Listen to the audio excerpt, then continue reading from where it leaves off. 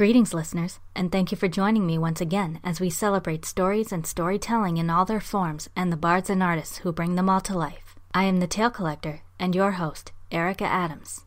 It's not entirely surprising when kids and adults say they want to trade places. Kids usually want the respect and power that only comes with age, and adults often wish they could go back to the days of boundless energy and carefree dreams. As for me, while I would never get rid of my inner child for anything, I really have no regrets leaving my childhood in the past where it belongs. There are plenty of tales out there that explore these ideas, sometimes by way of showing children literally becoming stuck in adults' bodies and or adults in children's bodies, whether through body switching or accelerated aging or de-aging, with the immediate results often being equal parts weird and hilarious. But when all is said and done, such scenarios typically end with said characters being returned to their proper ages and forms, wiser for the wear. But what if that end didn't come for years, or even decades? What if it never came at all? Would the result be depression, confusion, anger, madness, or maybe all of the above, such as what is felt by Keith Donohue's The Stolen Child, first published in 2006 and recommended for readers 17 and up.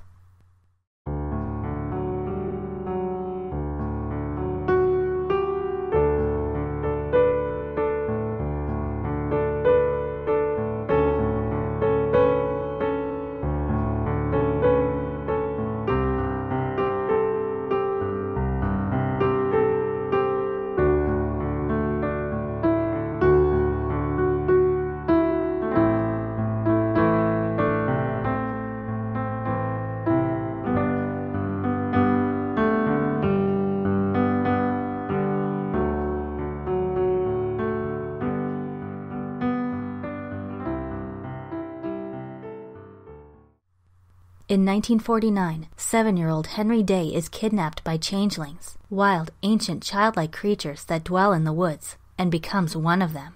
Meanwhile, another changeling takes his place, reforming himself in Henry's image and now living his life among the Day family.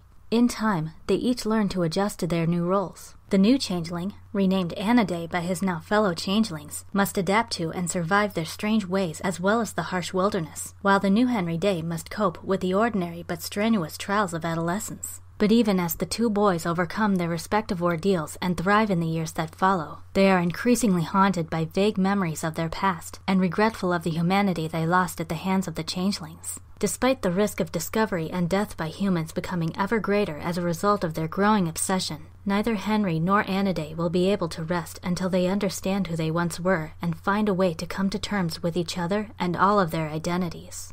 Donohue's debut novel is inspired by the 1889 poem of the same name by famed Irish poet William Butler Yeats about fairies beguiling and tempting a human child to run away with them. In relation to this book, I think the romantic implications of Yeats's poem are painfully ironic. Donohue keeps the primary lore about the human fairy switch intact, but that's where the similarities end. His changeling band is indigenous hunter-gatherer tribe, wolf pack, and kid street gang all rolled into one. They survive off the land while also organizing raids in order to steal clothes and supplies for protection against the elements, as well as for amusement. It's almost like observing an ongoing slumber party at a permanent summer camp, albeit with kids under 10 smoking and even lovemaking at times. Henry and Aniday tell their stories years after their respective switches occurred. Thus, their adult voices and minds are consistent even when they are children. In spite of the radically different lives they once lived and are living now, they still cherish their humanity more than anything, and often show their disgust at the changeling's conduct.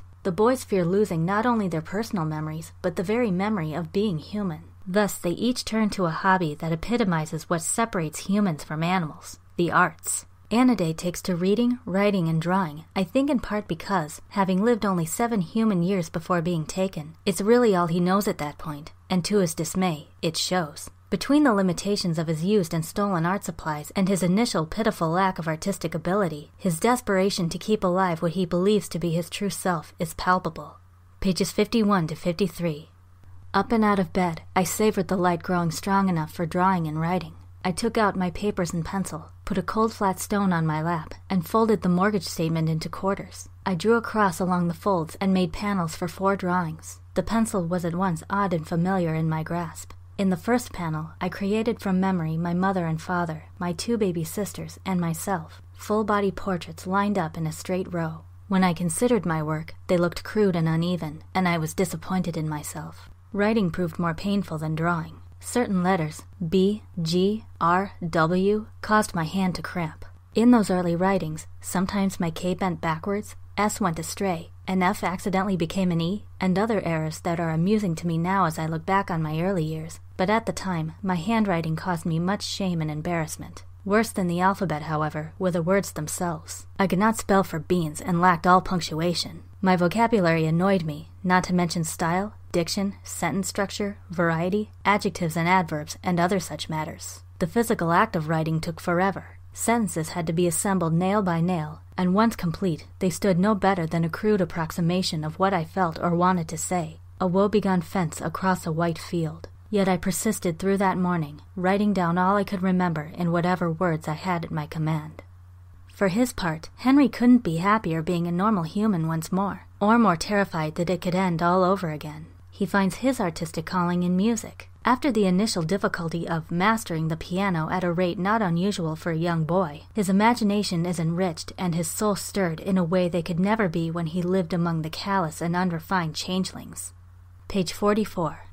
For the next eight years, I took piano lessons, and it was the happiest time of all my lives. On Wednesdays and Saturdays, the trip to the city proved a tonic, away from farm and family and into civilization. No longer something wild, but a creature of culture, on my way to becoming a virtuoso once again.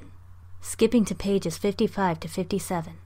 The glory of the experience rested in the simple fact that my musical talent was a human one. There were no pianos in the woods, and as my magic slowly diminished, my artistry increased. I felt more and more removed from those who had taken me for a hundred years, and my sole hope and prayer was that they would leave me alone. I played every chance I could get. Over the next few years, I spent hours each day at the keys, enthralled by the mathematics of the notes. The music seized me like a river current, pushing my conscious self deeper into my core, as if there were no other sound in the world but one. I grew my legs an inch longer than necessary that first summer in order to better reach the pedals on the upright. Around the house, school, and town, I practiced spreading my fingers as far apart as they would go. The pads of my fingertips became smooth and feather sensitive. My shoulders bowed down and forward. I dreamt in wave after wave of scales. The more adept my skill and understanding grew, the more I realized the power of musical phrasing in everyday life. The trick involves getting people to listen to the weak beats and seemingly insignificant silences between notes, the absence of tones between tones. By phrasing the matter with a ruthlessly precise logic, one can play or say anything.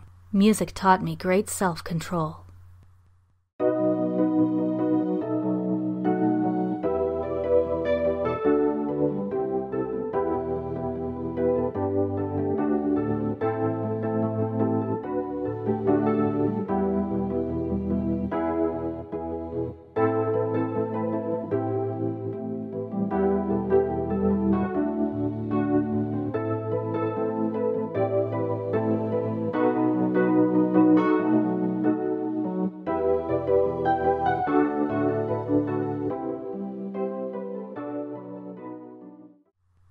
As the book progresses, we see how the boy's actions directly and indirectly influence more than just each other. No matter how carefully Henry and Aniday tried to distance themselves from each other's races in order to protect themselves, their close proximity torments and endangers them both. But just as bad as their mortal danger, if not worse, is the psychological danger placed on those around them, namely when those victims wind up witnessing more than, and yet not as much as they should.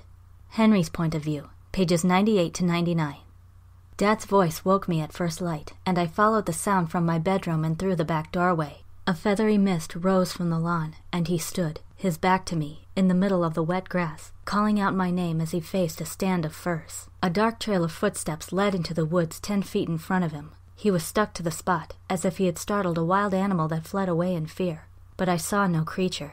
By the time I drew near, the diminuendo of a few raspy calls of Henry lingered in the air. Then he fell to his knees, bent his head to the ground, and quietly wept. I crept back into the house and pretended to be reading the sports page when he came in. My father stared at me hunched over the newspaper, my long fingers wrapped around a coffee cup. The wet belt of his robe dragged along the floor like a chain. Soaked, disheveled, and unshaven, he seemed much older, but maybe I had not noticed before how he was aging. His hands trembled as if palsied, and he took a camel from his pocket. The cigarette was too wet to light despite his repeated attempts, so he crumpled the whole pack and tossed it into the trash can.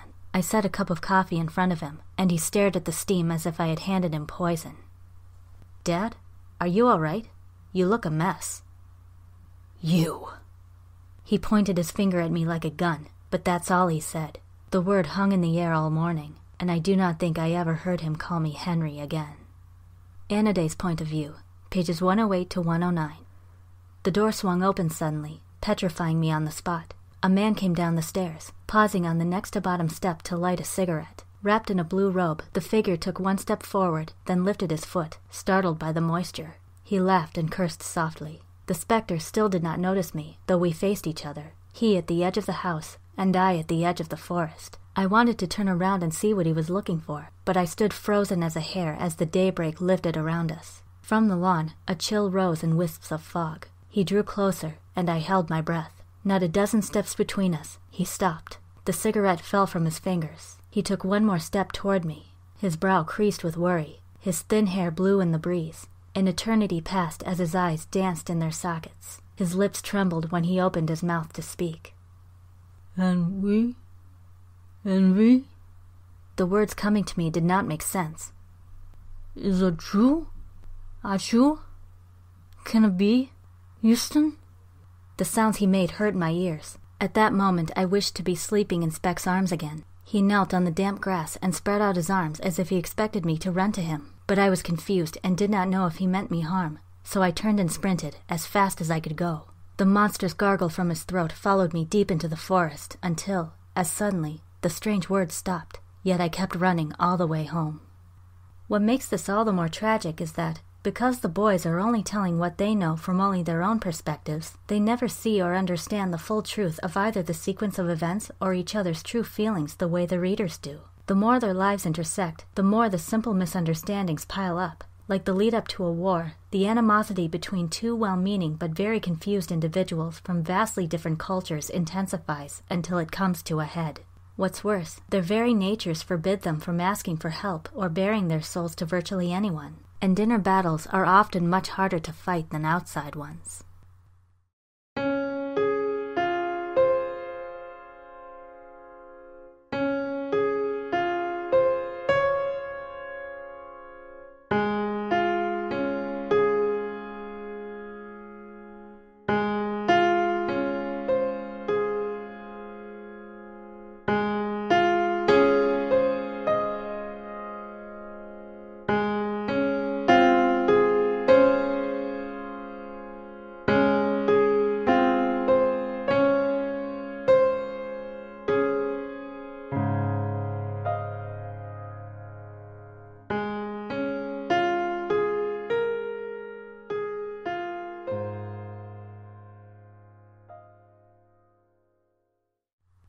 Though not a revenge story at its core, it does illustrate a real struggle between two sides with much at stake. An emotional and bittersweet tale of an identity crisis at its most hellish, The Stolen Child offers a highly unique take on the changeling legend that portrays the loss of innocence, the defining and preservation of humanity, and the relentless search for one's true self. Out of all the changeling related plots I've seen in other media, this novel is to me one of the most psychologically complex and existentially ambiguous, making a serious attempt to realistically address the implications of such a drastic change to one's very being. For when has a soul not felt lost and alone upon being ripped from all they know, never to see it again, except in memory? Gather round next time for a tale you may have forgotten or have never heard before. Until then, listeners, may inspiration always find you.